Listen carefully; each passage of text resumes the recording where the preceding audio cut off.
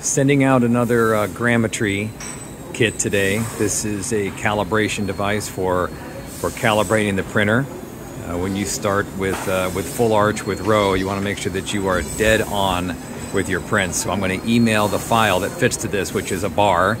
This one is for uh, this will be for the DESS screws, and you'll print it, you'll seat it, make sure it's passive, and then uh, off you go to surgery.